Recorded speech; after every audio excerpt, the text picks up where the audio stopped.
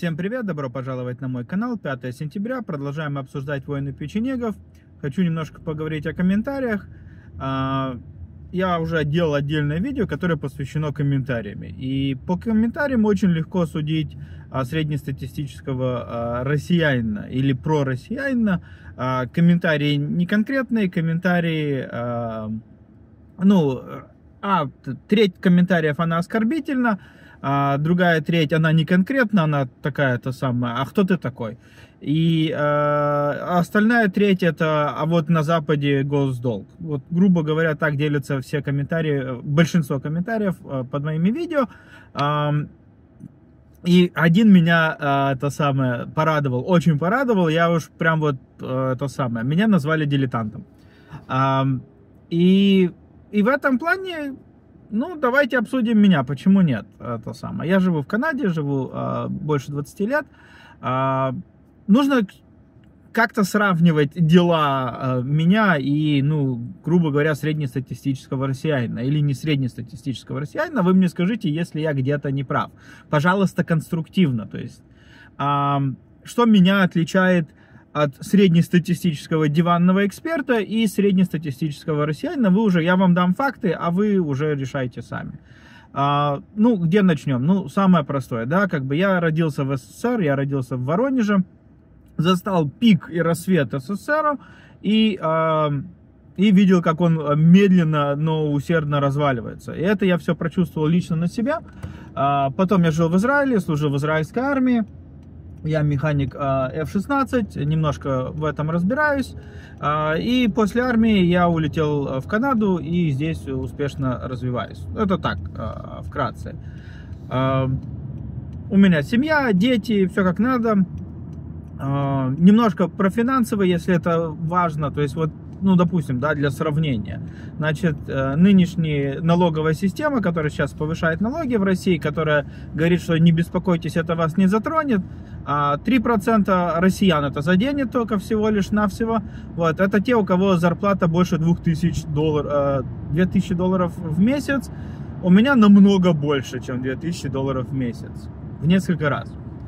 Поэтому а, то есть успешность моя с точки зрения финансов, она в разы э, больше, чем у среднестатистического россиянина. Я, в принципе, живу э, статистически лучше, чем среднестатистический канадец. Намного лучше. Э, я живу в одном из самых дорогих районов э, Торонто и, в принципе, один из самых престижных э, районов в Канаде в целом. Дом у меня, ну, сейчас трудно его оценить, учитывая, что курс рубля, он искусственный, но до того, как он был настоящий, дав далеко за 100 миллионов рублей, грубо говоря, да.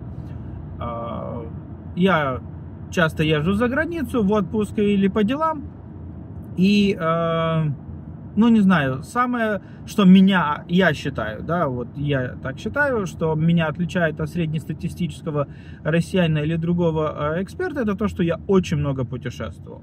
По работе и лично. Я э, посетил более э, 50 стран, и это все было как бы плюс-минус своими ножками. Это не я там сидел где-нибудь, э, то самое в all-inclusive в Египте или в Таиланде, а именно я гулял, ходил, брал э, туристические экскурсии и тому подобное. Я общался с живыми людьми, не смотрел это на резорте и э, то самое. Постигал страну уже своими глазами. Мне есть чем сравнить. С точки зрения среднестатистического человека, вообще человека в целом, э, я, жизнь, я мир видал вот. Я видел мир, я его могу сравнить, где хорошо, где плохо. Я ходил по маленьким улочкам, грязным улочкам, кушал в дорогих ресторанах, общался с крутыми дядями и тетями и тому подобное. Мне есть что сравнить. И российскую политику и экономику я наблюдаю очень близко лет так 20 и а, обсуждаю ее и читаю ежедневно, а, ежели не чаще, а, ну хотя бы лет так 10. Вот а, то самое. И делаю это из личных побуждений. А мне это самое, мне никто не за это ничего не платит. Вот, я, мне просто-напросто нравится анализировать. Я, у меня технический склад ума, я на все проблемы ищу, автоматически ищу решения, хотя э, желания нету этого делать, потому что это берет кучу это самое, личных ресурсов, забирает кучу уйму времени, но я не могу а, вот остановиться. То есть вот у меня такой склад ума, я вижу проблему, я ее пытаюсь решить. И э, учитывая то, что я видел много-много стран, много-много городов, я видел, как люди решают проблемы. Самое интересное, что некоторые вещи которые я здесь замечаю как проблема, я прилетаю в другую страну, и я вижу, что у них есть такое решение. То, что я здесь придумал, не зная о их э, методе, я приезжаю, о, я вот так вот точно продумал, один в один, вот, вот так оно должно быть, я продумал, расписал у себя в голове, иногда даже делаю зарисовки на бумаге, я приезжаю в другую страну, они уже это придумали, они это уже имплементировали. Ну, вот, вот так вот, плюс-минус. Теперь насчет моего дилетантства. Я среднестатистический, очень успешный человек в Канаде, по сравнению с Россией не говоря, и в мире целом тоже, как бы, а, мой уровень достатка, дохода, и сколько я там могу себе позволить, вот, он э, находится в пятерке, 5% населения мира, а то и полпроцента населения, смотря какие страны там, Китай и Индию добавь, так я вообще миллиардер.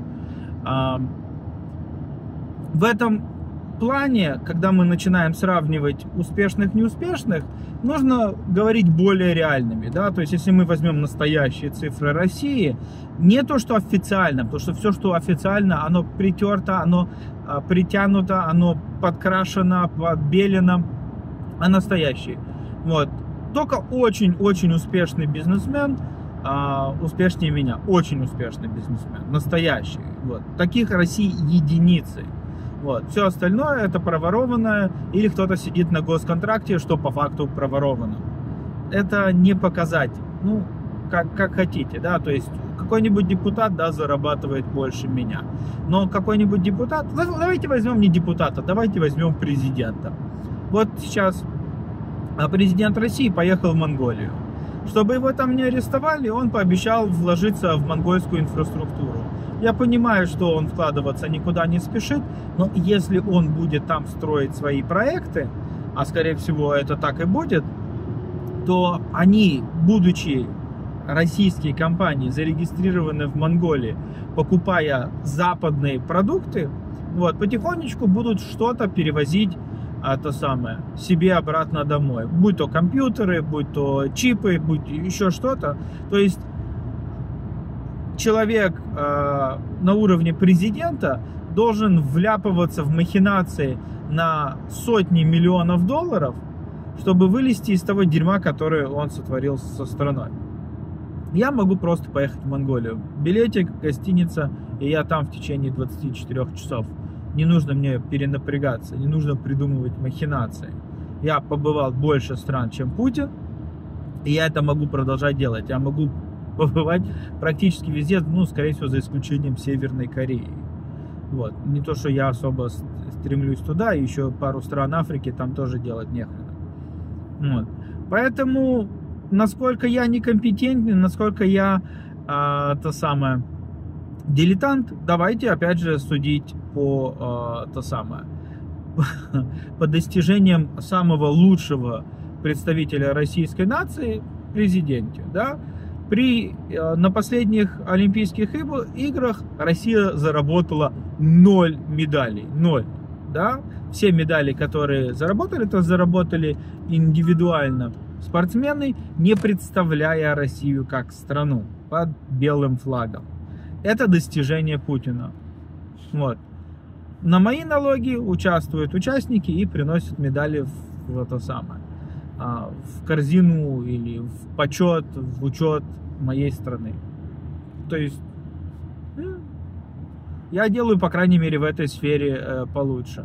Боинги и Airbus частично строятся у меня в России, а Путин сегодня, сегодня заявил, что нужно срочно построить самолет Байкал, и буквально через час заявили, что строительство самолета Байкал отодвигается еще на один год. Это как бы вот сегодня, это сейчас. Ну. Российская космическая компания это самое, потихонечку распродает э, свои ресурсы, потому что Роскосмос не может платить по счетам, не может, вообще ничего не может. А, конечно, они заявили, что они сейчас будут это самое а, пытаться победить Маской, запускать свой космический интернет, и что только они не пообещали, но по факту э, ничего этого не случится. Роскосмос летает до сих пор на ракетах, которые построены на базе технологий, которые развивались в 40-е годы.